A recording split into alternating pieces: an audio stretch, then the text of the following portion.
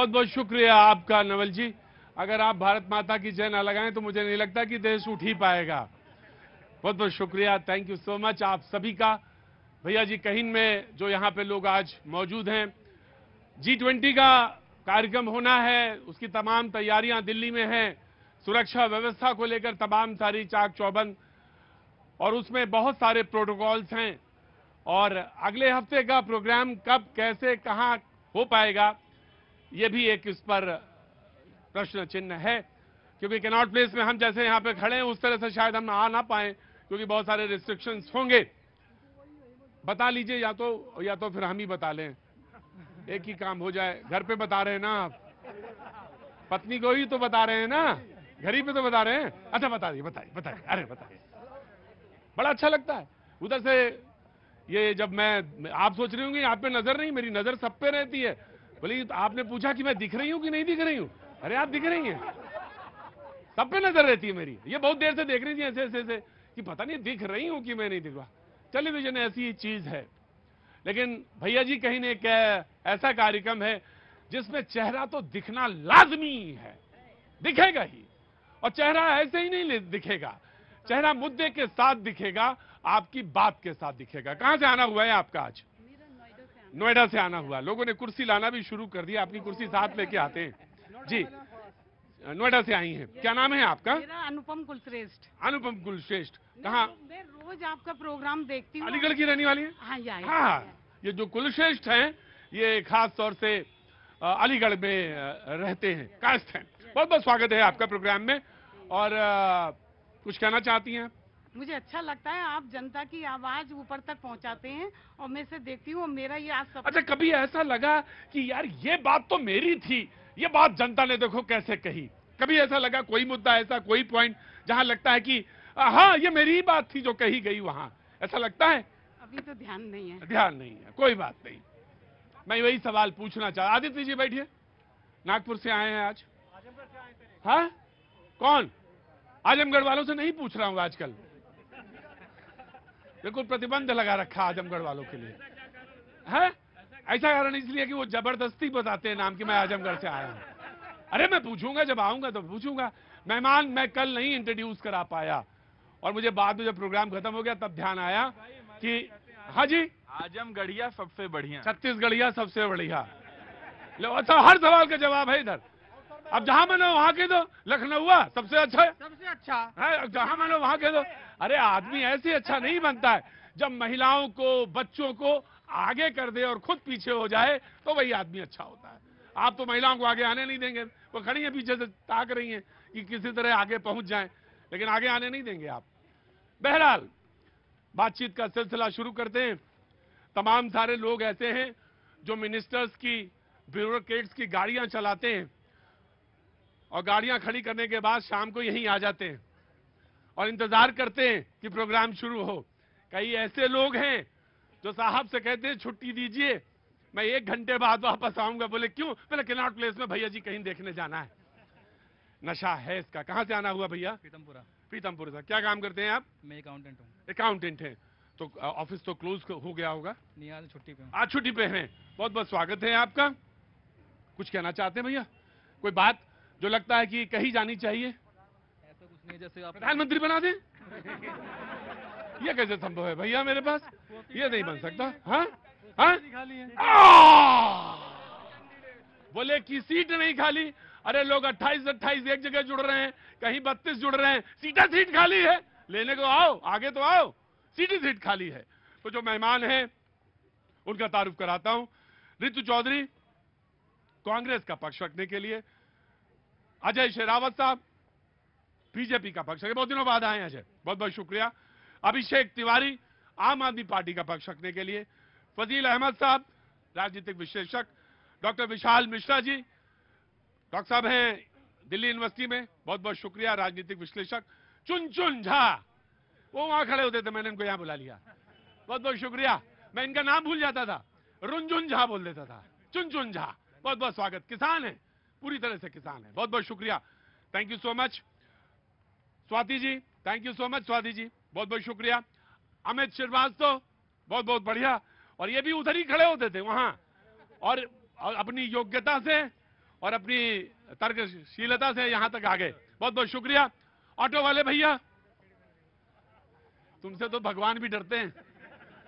इतना चिल्लाते हो बोलने ही नहीं देते हो। हैं।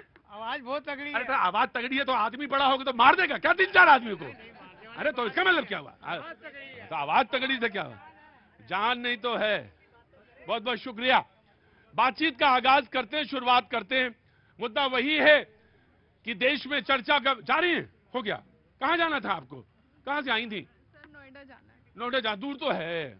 और जाएँगे कैसे? मेट्रो से। मेट्रो से जाएँगे। हाँ सामान भी है आपके पास। तो शॉपिंग की है। क्या क्या ले लिया? अरे ये सब मुद्दा बाद में होता रहेगा। ये जो आई एन डी आई है और ये सब है। अरे शॉपिंग पता करो पहले क्या क्या लिया है? हमें इसमें ज़्यादा इंटरेस्ट है वो तो सब हो ही जाएगा। क्या क्या ले लिया? कुर्ती ली है। ली है? मम्मी का घर द्वारका में फिर आपके लिए हाँ मेरे लिए यहाँ गए। थर्टी से वेट कर रहे हैं आपका। अच्छा तो पानी नहीं पूछा आज पानी भी कम लाया है ये। मैंने पूछा पानी क्यों कम लाए? तो बोला साहब आज इतना ही था। मैंने कहा तो लोग पानी नहीं पिएँगे इन लोगों के लिए तो यानी हम जैसे लोगों के लिए तो चुल्लू भर काफ़ी है। आपके लिए पूरा पानी। है। हाँ जी? हमारे लिए इतना ही काफ़ी है। आ, नहीं नहीं हम रुकिए आजमगढ़ से नहीं पूछ रहा हूँ मैं। तो कुर्ती ले लिया और क्या ले लिया? तीन कुर्ती ली है। तीन कुर्ती ली है। बार्गेन तो करा ही होगा आपने। तो मुद्दा यह है कि 28 party. Thank you so much बहन बहुत बहुत शुक्रिया। बहुत बहुत शुभकामनाएँ कल रक्षाबंधन था आज भी और जीवन भर। बहुत कुशल हो मंगल हो शुभ हो। सर मैं actually I am preparing for government exam teaching हाँ। तो मेरे को बस इसलिए भी आना पूछना था कुछ कि रिज़ल्ट बहुत पेंडिंग रहता है बीजेपी में। मैं पूछूँगा भी? बीजेपी में रहता है ना? अभी अभी ये तुरंत मान जाएँगे चुनाव है ना? सारे रिज़ल्ट आने लगेंगे अभी। प्रिपेयरिंग करते करते शादी हो गई। अब बच्चे भी हो जाएँगे है? लेकिन रिज़ल्ट नहीं आई बाबा सत्यनारायण भगवान की कथा सुने हो? बोले लड़की की शादी भी हो गई बच्चे भी हो गए वो कथा नहीं सुन पाए थे। तो अब मैं मैं मैं आपकी बात हाँ जी? रिज़ल्ट नहीं आ रहा। रिज़ल्ट नहीं आ रहा। सरकारी नौकरी के लिए टीचर्स के लिए तैयारी करती हूँ लेकिन रिज़ल्ट नहीं आ रहा। नहीं आ रहा। शादी हो गई बच्चे हो गए। बच्चे नहीं हुए लेकिन हो ही जाएँगे जब इतनी देर कर रहे हैं। लाजमी है। लेकिन रिज़ल्ट नहीं आ रहा। ज़रूर पूछेंगे। बहन बिल्कुल सही वक्त पे सवाल पूछा गया है। 24 नज़दीक है मुहाने में उधर विपक्षी एकता हो रही है इधर तैयारी है एक देश एक चुनाव की। अब इसी मुद्दे के बीच में हम ये रख देंगे कि सरकारी बस पढ़ते इतनी योजना है बस रटो एग्ज़ाम के लिए जीएस में आएगा ये आएगा और हमारा रिज़ल्ट ही नहीं आता। ये योजना आ रही बहन अंदर ही आ जाओ दो मिनट की बात है अंदर ही आ जाओ। आ जाओ बहन अंदर आ जाओ आ जाओ आ जाओ आ जाओ। यही सवाल तो एक कायदे का मेन सवाल है। बाकी आईएनडीआईए से तो हम पूछ ही लेंगे और बीजेपी भी बीजेपी से भी कि एक देश एक। आपको मालूम है कि जब इक्यावन में चुनाव हुआ इस देश का जो पहला चुनाव उसमें कितने रुपए खर्च हुए थे? कोई बता पाएगा? आज बता देगा तो इनाम है मेरी तरफ़ से। है? अरे अंदर अंदर अंदर अंदर अंदर। अंदर आ जाओ अंदर। क्या नाम है? नासिर। नासिर भाई इनाम बताया तो नहीं था मैंने। लेकिन इनाम है ज़रूर। इनाम नाम दो या ना दे जो पता तो बता अरे ना ना नासिर भाई इतना भी कमज़ोर आदमी नहीं हूँ। लखनऊ का बाशिंदा कह दिया तो कह दिया। ब्रेक में मिल जाएगा। हम भी इलाहाबाद हाँ, तो मारोगे थोड़ी ना हमें? टक्कर बराबर होती है ना। नहीं नहीं ज़्यादा ही है प्रयागराज भैया तुमसे तो डर ही लगता है हमें। नासिर भाई बहुत बहुत शुक्रिया। ग्यारह करोड़ रुपए खर्च हुए थे। और नासिर भाई 2019 में कितने खर्च हुए? साठ करोड़। साठ हज़ार करोड़, साठ करोड़ में तो यहाँ जीरा भी नहीं छीका जाता। लेकिन वो इनाम पक्का है तुम्हारा। पहला वाले सवाल पे इनाम था, दूसरा वाला तुम्हें मालूम था। साठ हज़ार करोड़, और वो भी अभी पूरे डाटा आए नहीं है बहन। तो एक देश, एक चुनाव, लेकिन मुद्दा इतना आसान होता तो हो गया होता? लॉ कमीशन की रिपोर्ट है कि दो चरणों में चुनाव कराए जा सकते हैं। छह महीने या एक साल का पेंडिंग हो लोकसभा चुनाव में तो पहले करा लीजिए बीच में। और एक उसके बाद करा लीजिए। लेकिन इतना आसान नहीं है ये मुद्दा। विपक्ष कह रहा है, ये मुद्दा इसलिए लाया गया कि हमारी जो एकता बन रही है, उस एकता को आप पचा नहीं पा रहे हैं, इसलिए एक मुद्दा लेके आए हैं। हाँ जी, और दूसरा एक बात ये और है कि अभी कुछ दिन बाद स्पेशल सेशन भी बुलाया है। तो आप क्या कह रही थी? सर, मैं टीचिंग एग्ज़ाम की प्रिपरेशन कर रही हूँ। एक तो दिल्ली गवर्नमेंट ने एज थर्टी कर दी है। ठीक है अगर वो कैलकुलेशन और उसके बाद बीजेपी ने भी जब सेंट्रल का केवीएस का पेपर दिया है उसका रिज़ल्ट पेंडिंग कर रखा है पीआरटी का। हाँ। और टीजीटी में नेगेटिव मार्किंग और इतने सारे मतलब रूल्स रेगुलेशंस ला रहे हैं। और बहुत सारी प्रॉब्लम्स है कि 2018 में मतलब जब शादी नहीं हुई थी तब से तैयारी कर रही हैं आप। 2018 में यूपी का पेपर दिया था तब योगी जी थे। योगी जी हमें फरवरी में वो दे देंगे एडमिट कार्ड दे देंगे दिन रात एक करके पढ़ा उसी में शादी हुई और फिर भी रिज़ल्ट पॉजिटिव आया पास भी हुई। अभी तक ज्वाइनिंग लेटर नहीं दे रहे हैं। और ये वाजिब बात है बहुत जिन्यून मुद्दा है बिल्कुल अक्षरशः सत्य मुद्दा बिल्कुल निश्चित तौर से इसीलिए मैंने बुलाया आपको। आप जा रही थी नोएडा लेकिन मैंने कहा अपनी बात तो कह दे जाए? मैंने सोचा शायद आपके थ्रू कुछ सुने। आप मैंने सोचा शायद आप ही सुन ले वरना है तो मीडिया भी वही। शायद ही कोई मुद्दा सुन ले क्योंकि वो तो कहते हैं ना कि वो सरकार का भोपू है। कह देते हैं। हाँ हाँ हाँ। ऐसा होता तो खड़े रहते इतनी देर तक बिलीव है तो। हाँ। तो है। बहुत बहुत शुक्रिया आपका। बहन अब जाओ। हाँ yes of course you go और बहुत बहुत शुभकामनाएँ। आ, बेबी तो होगा। बालक तो अच्छा लगता है आँगन में बच्चा अच्छा लगता है। लेकिन एक बात मैं कह रहा हूँ बड़ा भाई हूँ आपका और बड़ा भाई बाप की तरह होता है। मैं आपको एक शुभकामना दे रहा हूँ बहुत जल्दी आपकी नौकरी का पत्र आए नियुक्ति पत्र आए और बहुत शुभकामनाएँ बहुत मंगल कामनाएँ बहन। बेबी हो तो पहले होने से पहले ही सोच ले हो कि my mom is working in government sector वैसे एक बात आजकल और मैं कहता हूँ बेबी सोचे ज़रूर कि वर्किंग है मदर लेकिन वो ये ज़रूर सोचे कि घर में एक आँगन होता है एक माँ होती है एक छाव होती है एक बच्चा होता है एक किलकारी होती है एक तमाम घर का वातावरण। बहुत ज़रूरी है बहन इस पर किसी मुद्दे पे इस पर आजकल बात नहीं होती जीवन की। जीवन का ये पहलू छूटता जा रहा है। हम सोचते हैं कि शायद पैसे से सुख आता है। नौकरी ज़रूरी है बहन। आर्थिक मजबूती ज़रूरी है। तो चाहिए उसकी परवरिश हाँ लेकिन हो क्या रहा है बहन? परवरिश के चक्कर में ना बहुत सारी चीज़ें छूट जा रही हैं। तो वो सारी चीज़ें भी हैं लेकिन किसी दिन और पहलू में बात करेंगे वरना ये सारे लोग मिलकर मुझे मारेंगे आज। कह रहे आधा समय तो ये खा गए। कांग्रेस को पहले खड़ा करता हूँ और देन सारा साहब आप फिर एक एक करके लो जी। देखिए जो इंडिया का गठबंधन हुआ हाँ। और जो जनता का जो रुख दिखाई दे रहा है उससे हाँ। भाजपा बहुत बुरी तरह से घबराई हुई है। और उस घबराहट की वजह से आनंद फानन में वही फैसले लिए गए जैसे कि नोटबंदी का फैसला जल्दी में लिया गया था कृषि कानून का लिया गया था इस तरह के जितने भी फैसले जो है भाजपा सरकार ने लिए उसमें अच्छा अगर लिए भी गए तो ये मुद्दा तो अच्छा है ना कि आप इससे सहमत तो हैं? देखिए आ, प्रतीक जी अगर आप मुझे 20 सेकंड बोलने का समय दे तो मैं थोड़ा सा डिटेल में इसको इसके बारे अरे में 20 मिनट तो मैं ही बोला हूँ, तो 20 सेकंड तो अपने गेस्ट को दूँगा ही हाँ जी जी। देखिए वन इंडिया और वन इलेक्शन जो है हाँ। वन नेशन वन इलेक्शन ही था जब ये भारत आज़ाद हुआ था। सड़सठ तक तो यही रहा 67 उन्नीस सौ इक्यावन से इलेक्शन होना शुरू हुआ था और 1968 तक वन नेशन वन इलेक्शन था। लेकिन जब राज्य सरकारें गिर जाती हैं और राज्य सरकारों के चुनाव दोबारा होते हैं तो इस प्रकार से ये जो प्रक्रिया है उसमें खलल पड़ जाता है। तो वो चीज़ जो जो आठ साल जो चलती रही वो तो फिर दोबारा से हो जाएगी। आज आप एक इलेक्शन करवा दीजिए। फिर उसके बाद अगर मान लो कोई सरकार गिर गई तो क्या दोबारा से सारा इलेक्शन कराएँगे? या फिर एक राज्य सरकार का इलेक्शन कराएँगे? जी, ये एक मुद्दा है, उसके साथ जुड़ा हुआ मुद्दा है, लेकिन साठ हज़ार करोड़ से कहीं ज़्यादा रुपए खर्च हो। और उससे भी ज़्यादा बड़ी बात बताएँ, ये मुल्क बहुत बड़ा है, इसकी अर्थव्यवस्था बहुत बड़ी है, और ये अर्थव्यवस्था इतनी मज़बूत और मजबूती की तरफ़ जा रही है, क्योंकि इसके कुछ कंपोनेंट्स हैं जो बहुत मज़बूत हैं। हालाँकि आज कल ही मैंने डाटा, आज ही सुबह डाटा पढ़े हैं। लेकिन एक बात है, जो मुझे खास तौर से कहनी है कि हर वक्त, हर समय कोई ना कोई स्टेट इलेक्शन के मूड में रहता है। कहीं ना कहीं चुनाव ही हो रहे हैं। और यह बात मुझसे ज़्यादा कोई नहीं जानता। पिछले तीस सालों में, पिछले तीस सालों में हर साल चुनाव होते रहे। कभी दो कभी तीन कभी लोकसभा कभी मध्यवधि होते रहे तीस सालों में। मैं चुनाव का विरोधी नहीं हूँ लेकिन हाँ चुनावी एकता चुनाव और यही समीकरण रहा तो हमेशा कोई ना कोई डेवलपमेंट की बातें करता ही नहीं। मैं आ गया of course I will give you reply very quick जी। मैं मैं इसको देखे मैं दे देता हूँ। हाँ। मेरी कांग्रेस की बहन कह रही थी कि भाजपा वाले बौखला गए हैं।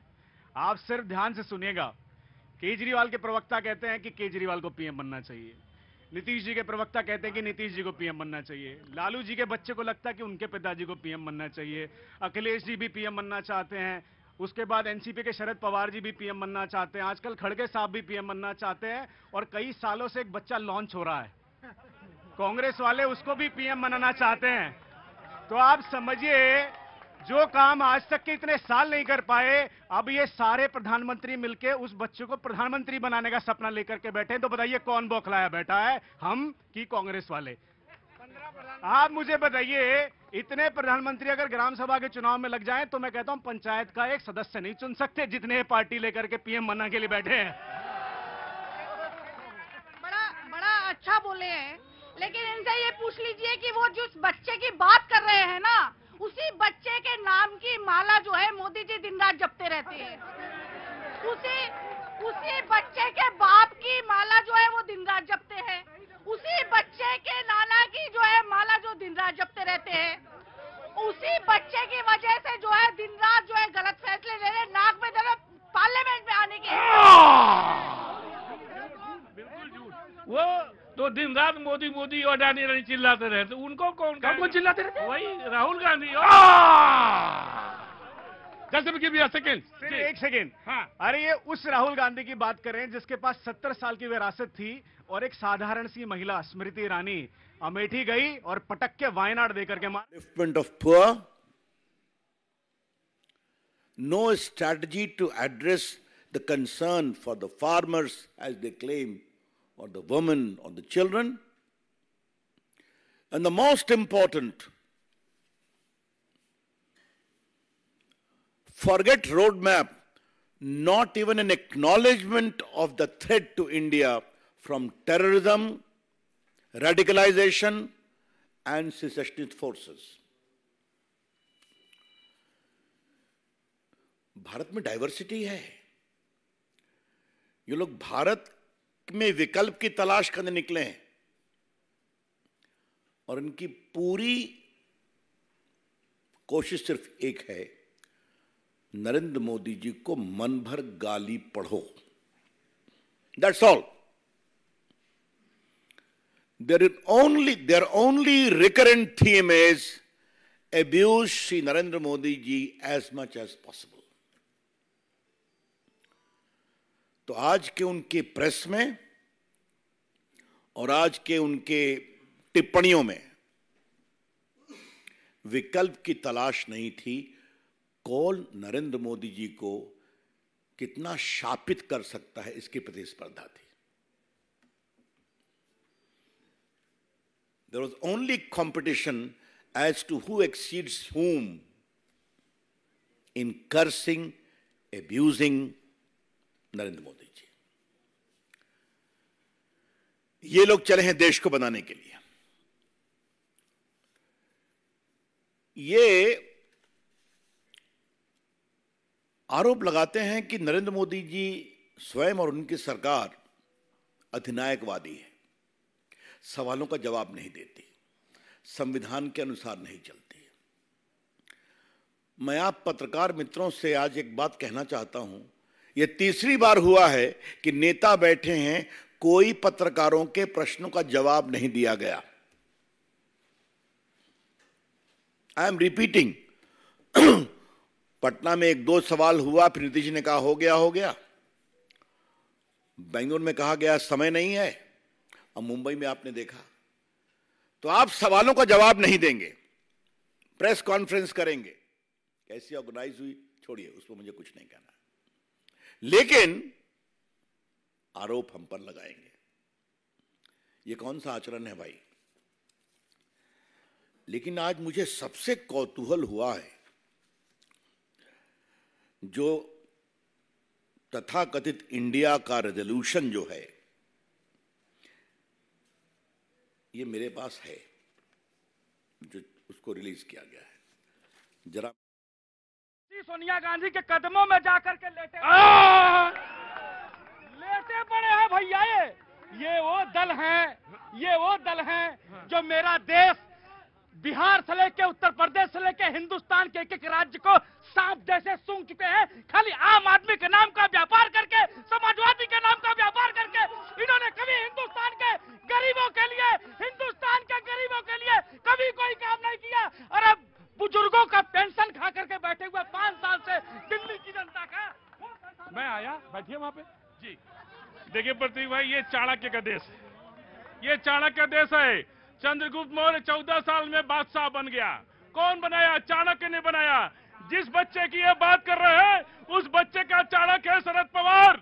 लालू यादव ममता बनर्जी अखिलेश यादव आरजेडी सारे ये सारे चाणक्य मिलकर के ये सारे चाणक्य मिलकर के इसी बच्चे को एक दिन भारत का बादशाह बनाएँगे। ये गठबंधन मैं बता दूँ ये गठबंधन सिर्फ़ एक आंदोलन है और आंदोलन का नाम है परिवार बचा परिवार बचाओ आंदोलन। लालू का परिवार बचाओ मुलायम सिंह का परिवार बचाओ सोनिया गांधी का परिवार बचाओ शरद पवार का परिवार बचाओ उद्धव ठाकरे का परिवार बचाओ।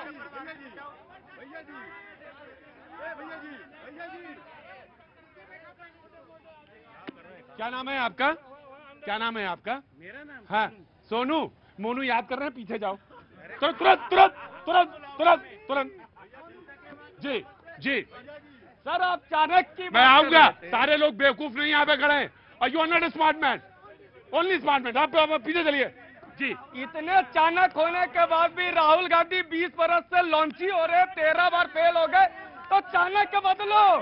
और सर आज कह रहे थे लोगो आने वाला है। अरे जिसके पास लोग नहीं होता वो लोगों कहाँ से लाएगा यार? जी। मैं आपसे ज़रूर पूछता सोनू, लेकिन अब जब तक पृथ्वी पे ज़िंदा हूँ तो आपसे कभी नहीं पूछूँगा मालूम है क्यों? बदतमीजी, उसको मैं कहता हूँ जो डिसिप्लिन तोड़ता। आपकी उम्र क्या है? आपकी उम्र क्या है? पैंतालीस साल। मैडम, मैं आपकी उम्र नहीं पूछ रहा हूँ। आपको बेवकूफ़ नज़र आती है जो बैठी है देर से। मौका दूँगा, खड़े होइए। आपसे पहले देर से, आपसे पहले पहले खड़े लोग हैं। कोई नहीं क्या? ये दिल्ली की एक खास अदा है। माफ़ करिएगा।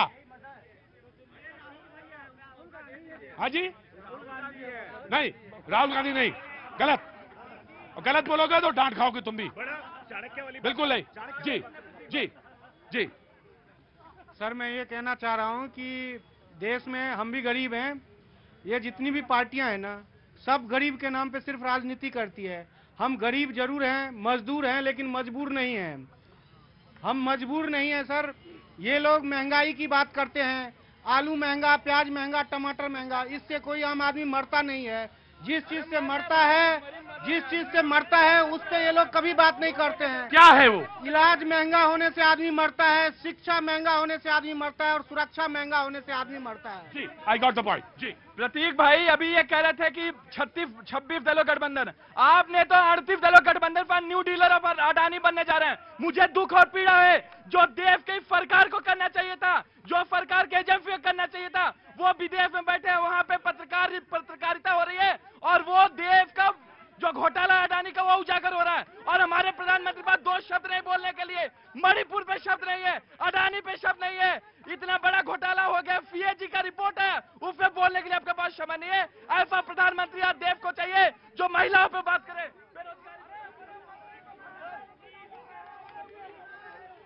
दो बातें बहुत महत्वपूर्ण हैं। दो बातें बहुत महत्वपूर्ण हैं। एक मिनट एक मिनट। भाई साहब भाई साहब, मोनू दो बातें बहुत महत्वपूर्ण है। पत्रकारिता के दृष्टिकोण से कहीं भी अगर फैक्ट्स एंड फिगर्स रखे जाते हैं, वो क्रॉस चेक करके ही रखे जाते हैं, क्योंकि ये माना जाता है कि अगर मैं कोई चीज़ रखी जा रही है तो हम उसके लिए जिम्मेदार हैं। और अगर कहीं रखे गए हैं, और उसमें अगर प्रेस कॉन्फ्रेंस है, आपने कहा विदेश में ही पत्रकारिता हो रही है। मेरा यह मानना है कि कहीं से भी फैक्ट्स एंड फिगर्स आ रहे हैं, पत्रकारिता हो रही, बहुत अच्छी बात है, उसका स्वागत किया जाना चाहिए। स्वागत किया जाना। लेकिन मैं आपसे सिर्फ़ एक बात पूछना चाहता हूँ कि राजनीति सिर्फ़ हिंदुस्तान में ही हो रही है। अभी देर से बात समझ में आएगी। राजनीति सिर्फ़ देश में ही हो रही है और कैसी हो रही है, ये भी समझने की चीज़ है। पत्रकारिता तो कहीं ना कहीं बचेगी। हम बचा ले जाएँगे। कहीं ना कहीं मूल्यों को भी बचा ले जाएँगे। लेकिन खतरा जहाँ पे बड़ा है, आपने विचारधारा पे गठबंधन किए थे विचारधारा पे गठबंधन तोड़े थे।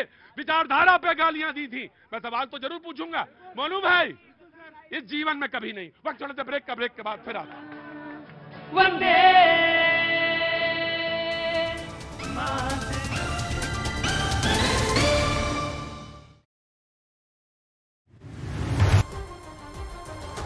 यानी वो नाबालिग नहीं है और हत्या के मामले में उसके साथ दूसरे आरोपियों जैसा ही बर्ताव किया जाए। साथ ही आरोपी को जुवेनाइल बोर्ड के हवाले करने की बजाय पुलिस कस्टडी में भेजा जाए। पुलिस के मुताबिक आरोपी खुद को नाबालिग बताकर बचना चाहता है। दिल्ली के कड़काडूमा कोर्ट में पेशी के दौरान जज ने पुलिस से आरोपी की सही उम्र साबित करने का निर्देश दिया। पुलिस के मुताबिक आरोपी एक साल पहले भी हत्या और लूटपाट के मामले में गिरफ़्तार हुआ था, लेकिन नाबालिग होने की वजह से वो जल्दी छूट गया, जिससे जुड़े रिकॉर्ड किशोर न्याय बोर्ड के पास मौजूद हैं। इसीलिए कोर्ट में पेशी के बाद पुलिस आरोपी को लेकर किशोर न्याय बोर्ड पहुँची। जहाँ से 4 सितंबर तक पता चल पाएगा कि आरोपी बालिग है या फिर नाबालिग। पुलिस सूत्रों ने दावा किया कि समीर उर्फ़ माया दिल्ली का बड़ा गैंगस्टर बनना चाहता है और इसीलिए उसने माया के नाम से गैंग बनाया। पुलिस के सूत्रों के मुताबिक माया गैंग में समीर और उसकी उम्र के ही कुछ लड़के शामिल हैं। जो दिल्ली के भजनपुरा और उसके आसपास के इलाके में एक्टिव है। पुलिस के सूत्र बताते हैं कि समीर उर्फ़ माया दिल्ली का बड़ा गैंगस्टर बनना चाहता है, जिसके लिए वो कम उम्र में ही अपराध के रास्ते पर निकल गया था। जाँच के दौरान पुलिस को सोशल मीडिया पर उसका किंग माया के नाम से एक अकाउंट मिला। प्रोफ़ाइल में नाम की जगह, बदनाम और पते की जगह कब्रिस्तान लिखा नज़र आया। उम्र जीने की और शौक मरने की बात भी उसमें लिखी दिखी। इसके अलावा माया की कुछ तस्वीरें भी सामने आई, जिसमें वो हथियारों के साथ दिखा। एक तस्वीर में वो बंदूक के साथ नज़र आया, जबकि एक दूसरी तस्वीर में उसके दोनों हाथों में पिस्तौल दिखाई थी। पुलिस सूत्रों का दावा है कि अमेजोन की मैनेजर हरप्रीत गिल को माया ने इसी पिस्तौल ऐसी गोली मारी थी। पुलिस सूत्रों के मुताबिक फ़िल्मों की तरह माया गैंग में शामिल गुर्गों के नाम रखे गए और सूत्र बताते हैं कि ई कॉमर्स कंपनी अमेजोन के मैनेजर हरप्रीत गिल की हत्या का मास्टरमाइंड समीर उर्फ़ माया है। जो काफ़ी वक्त से गैंग बनाकर अपराध की कई घटनाओं को अंजाम देने में जुटा था ताकि वो और उसके गैंग का नाम जुर्म की दुनिया में छा जाए। पुलिस के मुताबिक आरोपी समीर ने न सिर्फ़ माया नाम से गैंग बनाया, बल्कि उसने फ़िल्मों की तरह अपने गैंग में शामिल गुर्गों के नाम भी रखे। जाँच के दौरान पुलिस को मिली जानकारी के मुताबिक समीर गैंग का सरगना है और उसने अपना नाम माया रखा। जबकि पुलिस की गिरफ्त में मौजूद बिलाल गन्नी का नाम मल्लू है।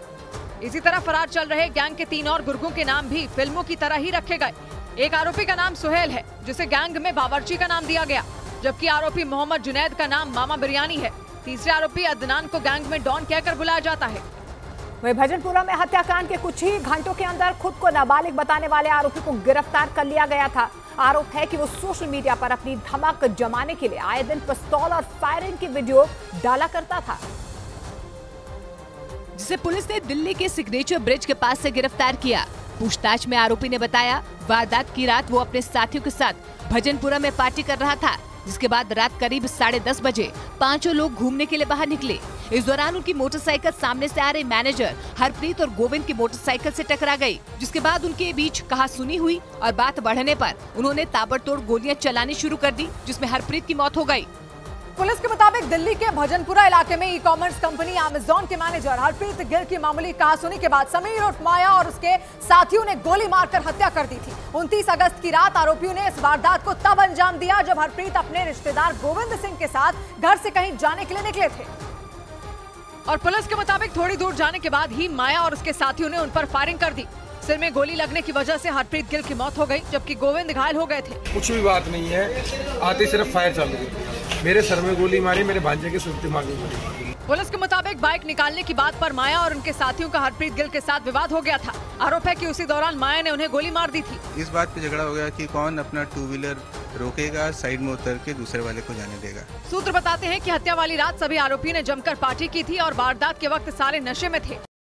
नशे में चूर उन लोगों ने हरप्रीत गिल की हत्या कर दी और यही वजह रही कि उनके घर वालों ने आरोपियों को फांसी देने की मांग की। दो दिन पहले रात करीब सवा ग्यारह बजे 36 साल के हरप्रीत की सिर में गोली मारकर हत्या कर दी गई थी। जिसके बाद से उनके घर में हाहाकार मचा है। घर वालों का रो रो कर बुरा हाल है। हरप्रीत की माँ की आँखों में आँसू थमने का नाम नहीं ले रहे। उन्हें यकीन नहीं हो रहा कि जो हरप्रीत 10 मिनट में आने की बात कह कर गया था, वो अब इस दुनिया में नहीं है। इस दौरान न्यूज़ 18 की टीम ने हरप्रीत गिल की माँ से बात की जिसमें उन्होंने हत्याकांड में शामिल आरोपियों को फांसी देने की अपील की।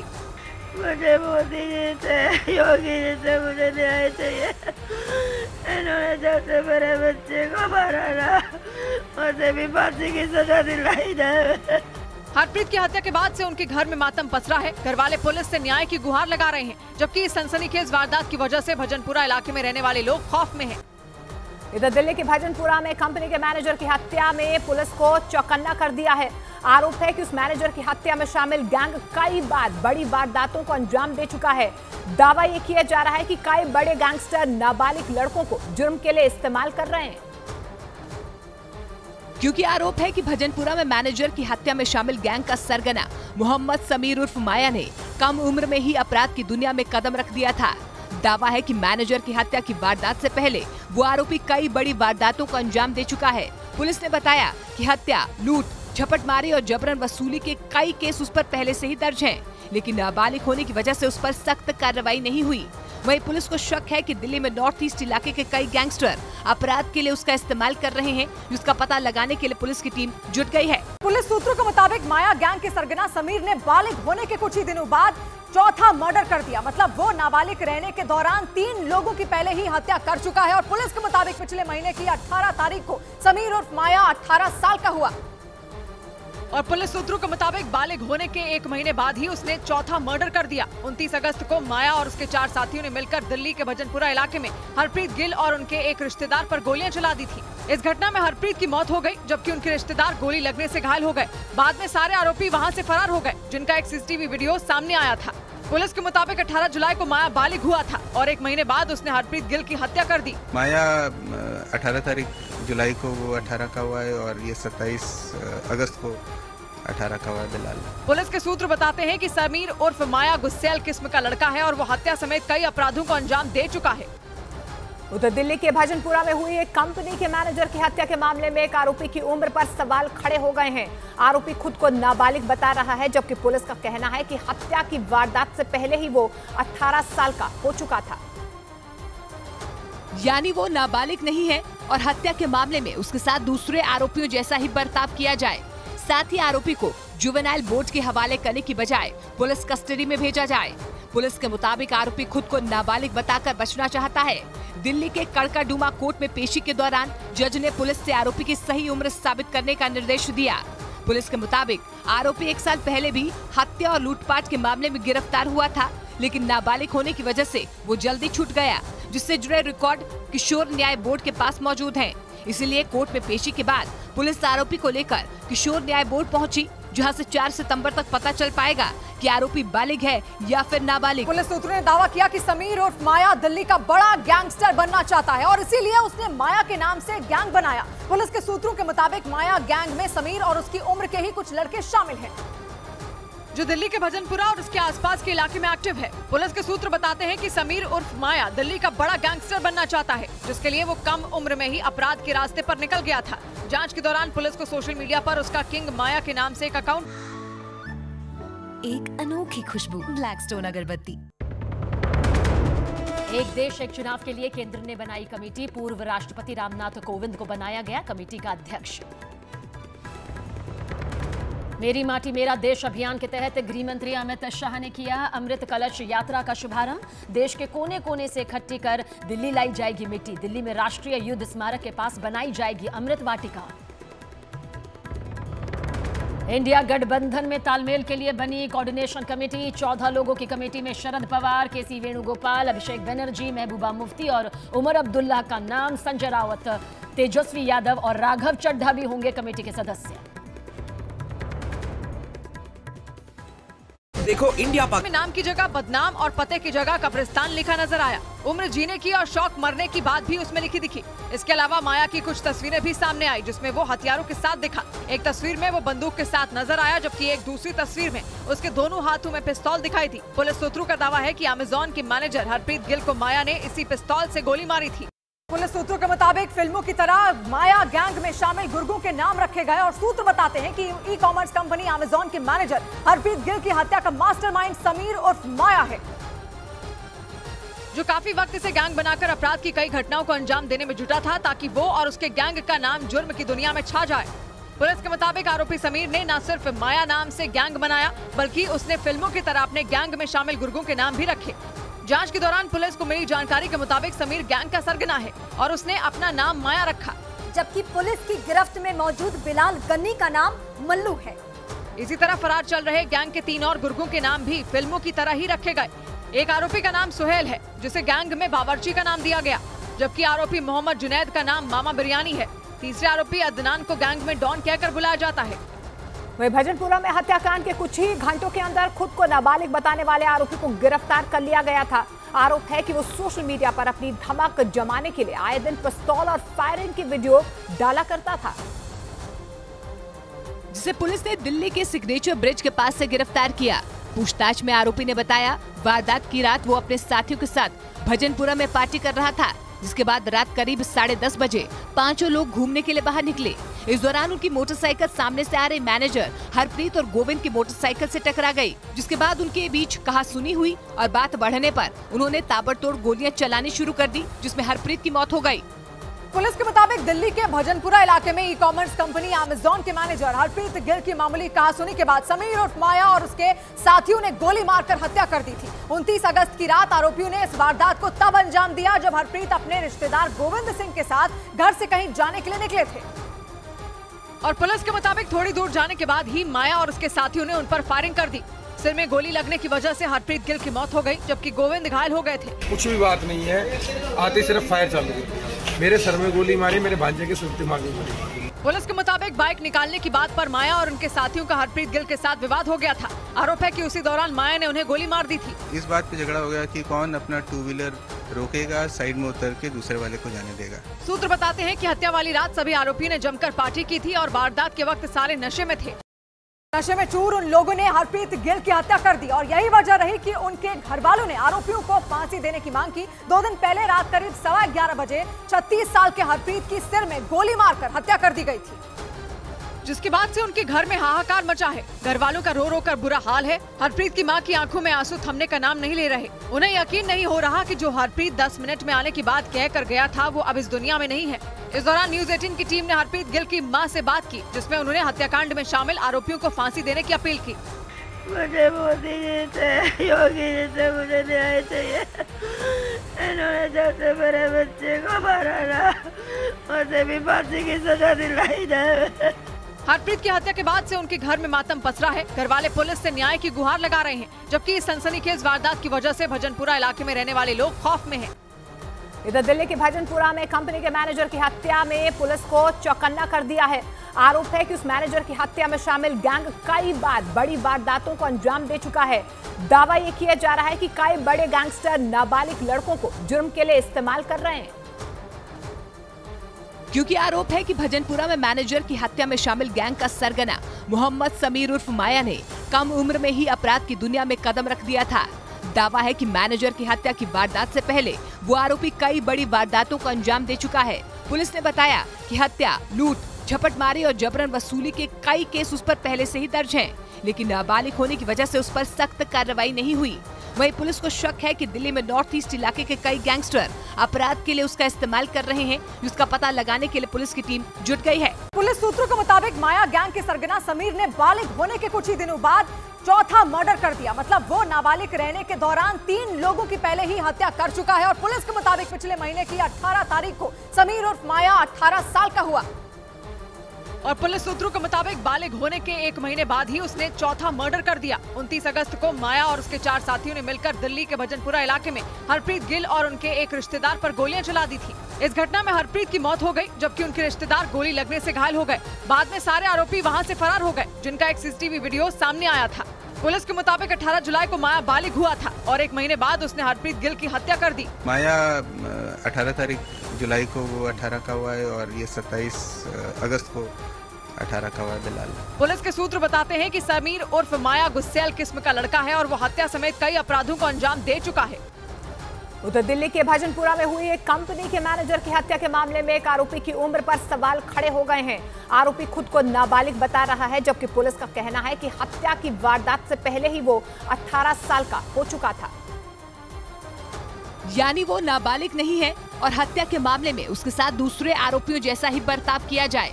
साथ ही आरोपी को जुवेनाइल बोर्ड के हवाले करने की बजाय पुलिस कस्टडी में भेजा जाए। पुलिस के मुताबिक आरोपी खुद को नाबालिग बताकर बचना चाहता है। दिल्ली के कड़काडूमा कोर्ट में पेशी के दौरान जज ने पुलिस से आरोपी की सही उम्र साबित करने का निर्देश दिया।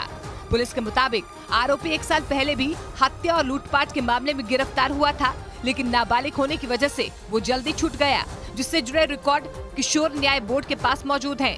इसीलिए कोर्ट में पेशी के बाद पुलिस आरोपी को लेकर किशोर न्याय बोर्ड पहुँची। जहाँ से 4 सितंबर तक पता चल पाएगा कि आरोपी बालिग है या फिर नाबालिग। पुलिस सूत्रों ने दावा किया कि समीर उर्फ़ माया दिल्ली का बड़ा गैंगस्टर बनना चाहता है और इसीलिए उसने माया के नाम से गैंग बनाया। पुलिस के सूत्रों के मुताबिक माया गैंग में समीर और उसकी उम्र के ही कुछ लड़के शामिल हैं।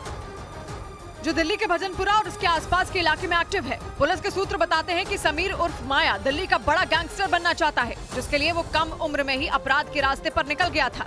जाँच के दौरान पुलिस को सोशल मीडिया पर उसका किंग माया के नाम से एक अकाउंट मिला। प्रोफ़ाइल में नाम की जगह, बदनाम और पते की जगह कब्रिस्तान लिखा नज़र आया। उम्र जीने की और शौक मरने की बात भी उसमें लिखी दिखी। इसके अलावा माया की कुछ तस्वीरें भी सामने आई, जिसमें वो हथियारों के साथ दिखा। एक तस्वीर में वो बंदूक के साथ नज़र आया, जबकि एक दूसरी तस्वीर में उसके दोनों हाथों में पिस्तौल दिखाई थी। पुलिस सूत्रों का दावा है की अमेजोन की मैनेजर हरप्रीत गिल को माया ने इसी पिस्तौल ऐसी गोली मारी थी। पुलिस सूत्रों के मुताबिक फ़िल्मों की तरह माया गैंग में शामिल गुर्गों के नाम रखे गए और सूत्र बताते हैं कि ई कॉमर्स कंपनी अमेजोन के मैनेजर हरप्रीत गिल की हत्या का मास्टरमाइंड समीर उर्फ़ माया है। जो काफ़ी वक्त से गैंग बनाकर अपराध की कई घटनाओं को अंजाम देने में जुटा था ताकि वो और उसके गैंग का नाम जुर्म की दुनिया में छा जाए। पुलिस के मुताबिक आरोपी समीर ने न सिर्फ़ माया नाम से गैंग बनाया, बल्कि उसने फ़िल्मों की तरह अपने गैंग में शामिल गुर्गों के नाम भी रखे। जाँच के दौरान पुलिस को मिली जानकारी के मुताबिक समीर गैंग का सरगना है और उसने अपना नाम माया रखा। जबकि पुलिस की गिरफ्त में मौजूद ज़रूर जानकारी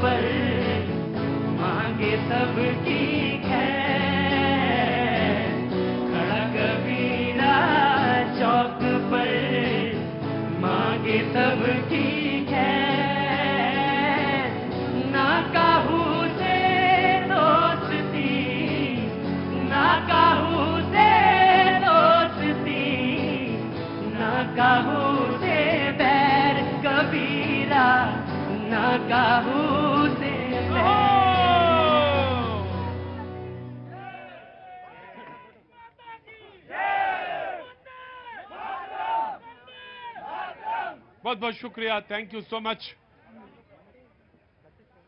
आपकी सबसे बड़ी खूबी यह है कि आप डिसिप्लिन में रहते हैं। कोशिश मैं भी करता हूँ कि गुस्सा कम आए। मुझे गुस्सा आता है, ये मेरी कमी है। सबसे बड़ी कमी है जिसको मैं बार बार कहता हूँ। इसलिए आता है कि जो बोलना चाहते हैं, जो विचार है, वो भटक जाता है। मेरा भी भटकता है और जो सामने गेस्ट आते हैं, उनका भी भटकता है। मुझे मालूम है कि आपकी ये शो की खूबी भी है कि वो अपनी बात रखने के लिए आया है, कोई शख्स आया तैयारी के साथ आया हाफ़ डे छुट्टी लेके आया है, कागज़ कलम लेके आया है, युवा है, तैयारी के साथ आया क्वेश्चन लिख के लाया है। और ऐसे में अगर मैं उससे सवाल नहीं पूछता हूँ तो वो बहुत निराश होता है, कहता कि, वाह, ऐसे क्या हुआ? ऐसे इससे तो कोई फ़ायदा ही नहीं हुआ। अब मैं शो में नहीं जाऊँगा। वो नाराज़ हो जाता है। नाराज़ मत होइए। ये शो आपका है मुझे मालूम है बड़े बुज़ुर्ग जब खड़े रहते हैं तो मुझे बिल्कुल अच्छा नहीं लगता कि वो वो पता चला हाँ छप्पन सत्तावन अठावन साठ साल का आदमी खड़ा रहे और पैंतीस साल के लोग वहाँ बैठे रहे वह बिल, बिल्कुल अच्छा नहीं लगता सर। लेकिन मजबूरी है कि शराब पिए हुए लोग उल्लंघन करते हैं सीमा उल्लंघन करते हैं। तब मुझे गुस्सा नहीं चले नहीं गए आए हैं अब बिल्कुल खड़े रहेंगे। नासिर भाई कहाँ गए? हाँ जी ये आपका very good thank you so much. ये ये इसलिए था कि मैंने पूछा था, उन्नीस सौ इक्यावन में जब चुनाव हुए तो कितना खर्च हुआ था? बोले 11 करोड़। और जब 2019 में चुनाव हुए तो खर्च हुआ साठ हज़ार करोड़। एक देश, एक चुनाव पे चर्चा एक बार फिर से गर्म है। उधर मुंबई में बैठक खत्म हो गई है और सबने कहा है कि मिलकर चुनाव लड़ेंगे और ये चुनाव जो होंगे, वो इस बार बीजेपी का सफाया करेंगे और आईएनडीआईए का सामने आएगा। मैं मैं मैं मैं, मैं बात अरे विपक्ष की भी तो बात ओफो। विपक्ष की भी बात तो कहने दो। मुझे मुझे अख्तियार है इस बात का कह सर मुझे अख्तियार है इस बात का कहने का। मुझे तो कहने दो दो सारी बातें रखने दो। फैसला तो आप ही करेंगे। सर मैं क्या होता मैं पिद्दी पिद्दी का शोरबा। मैं थोड़ी ना हूँ कुछ कुछ बोलने वाला। लेकिन मैं बात तो कहने का हक है ना मुझे। स्वाति वेरी क्विक और स्वाति जी से पहले डॉक्टर साहब डॉक्टर साहब नाराज़ ना हो ना मेरे पर। ना ना डॉक्टर साहब समझ जाता हूँ। टीचर जब नाराज़ होता तो मुझे समझ में आ जाता। डॉक्टर आप चुपचाप बैठे रहिएगा बिरयानी खाइए बैठ के। जी जनाब आली। साहब देखिए जहाँ तक एक देश एक चुनाव की बात है हाँ सर। तो उन्नीस सौ इक्यावन से लेकर सड़सठ तक परंपरा चलती रही। और आज जो इसका विरोध कर रहे कर रहे हैं उन्होंने जानते हैं? सबसे पहले अड़सठ उनहत्तर में सरकार गिराई राज सरकार। वहाँ से टाटा टूटा। जो विरोध कर रहे हैं। हाँ, सुनिएगा। अभी मैं सुन रहा था कह रहे हैं कि वो I dot N dot D I कुछ क्या बनाया है। आई डॉट हाँ हाँ जो भी है। तो उसके नाते बीजेपी डर गई है। अब और अभी वो भाई साहब गा रहे थे कि ऐसी बानी बोलिए मन का आपा खोए। हाँ तो डॉक्टर साहब आप बिल्कुल वैसे ही रहिएगा। तो सुन तो लीजिए। तो उसमें जो 28 है गठबंधन ऐसा ऐसा बोल चुके हैं। एक दूसरे के खिलाफ। कि सब अपने अपने मन का आपा खो चुके हैं। और अगली लाइन है उसमें कि औरन को शीतल करे, यहाँ औरों को जला चुके हैं। और खुद हु शीतल होए के बजाय खुद भी जल चुके हैं। अब आप मुझे ये बताओ और मज़ेदार बात एक भैया जी, बराती सब है, दूल्हा ही नहीं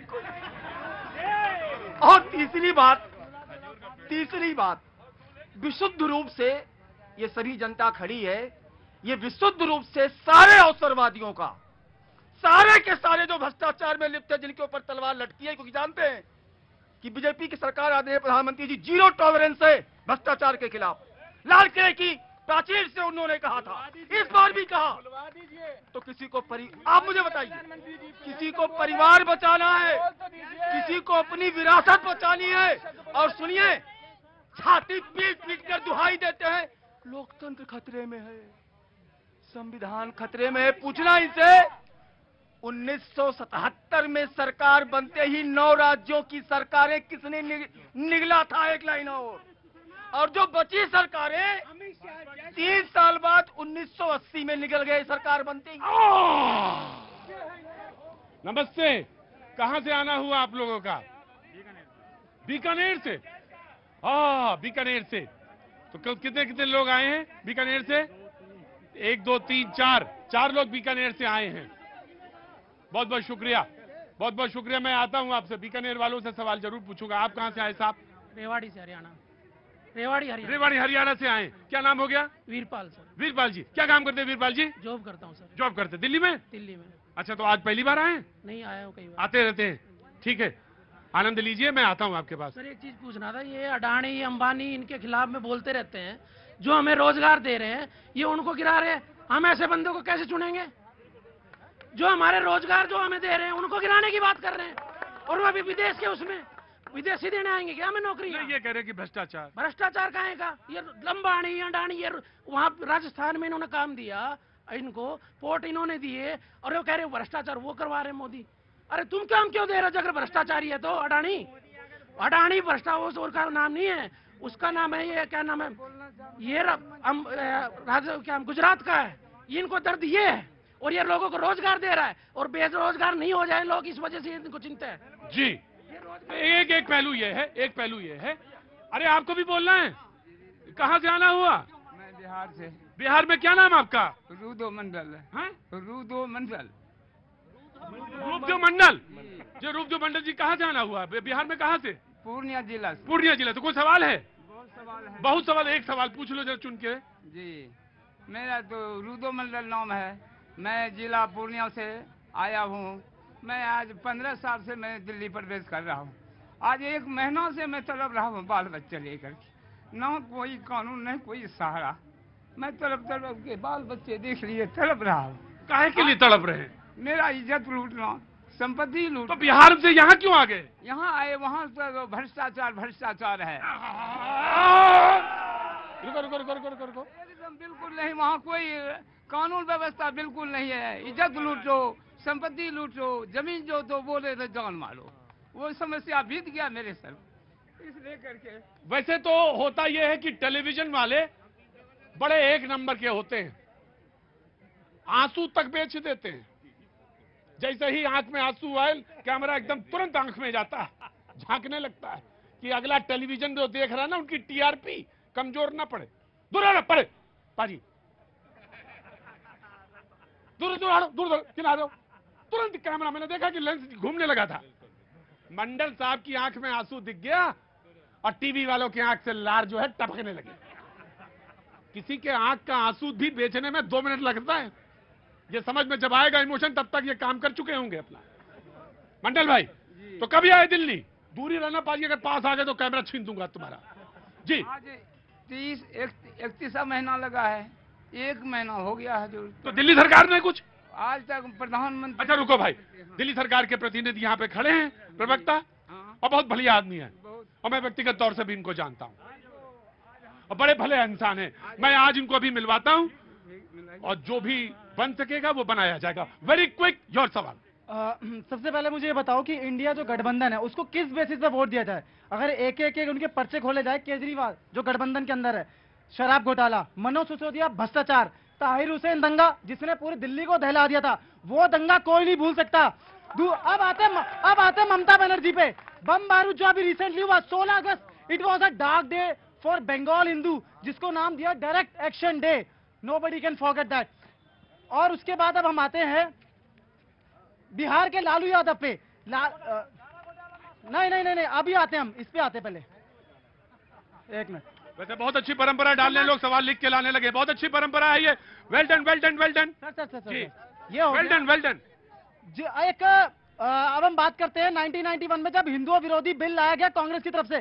Karnataka Congress leader Satish Laxman Rao has stoked a massive controversy by saying the word Hindu has a vulgar word. The just wait, let me just talk. Let me just talk. Huh.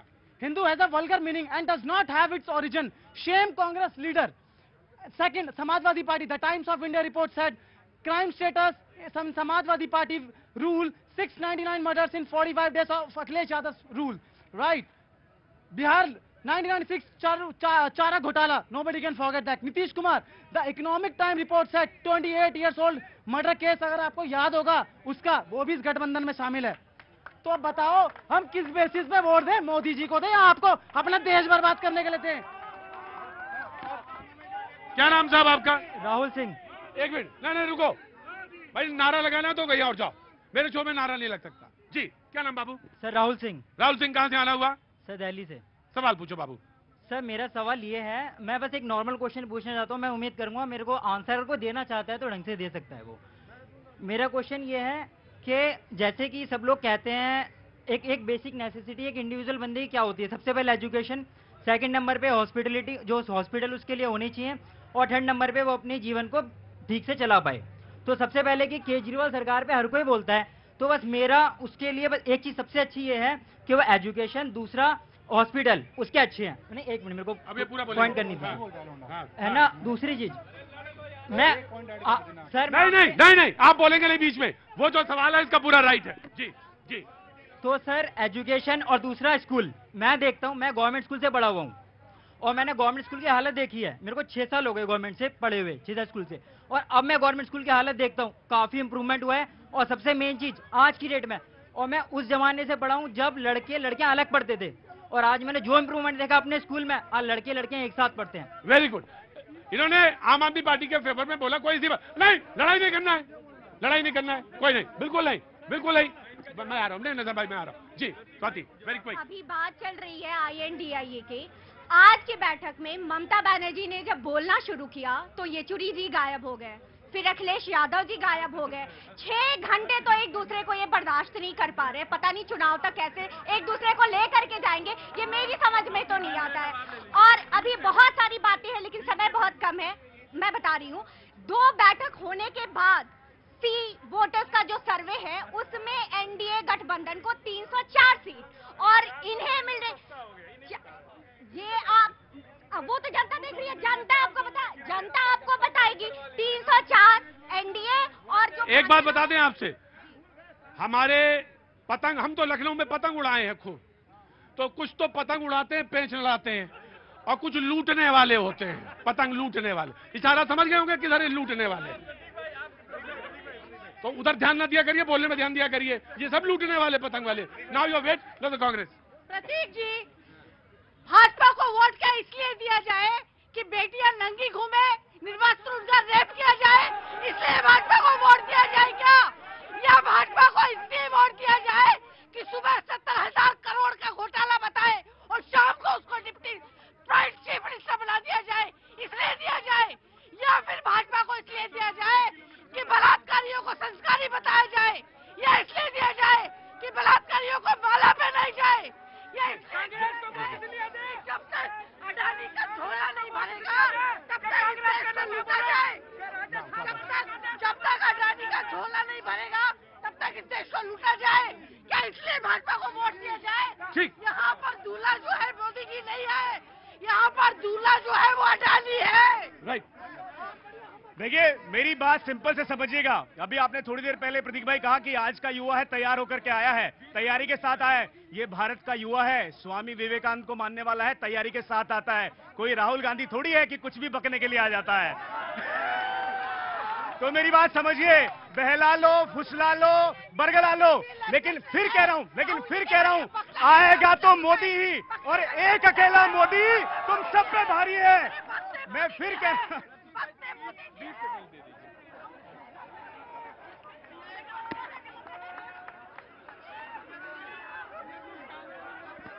मैं फिर से कह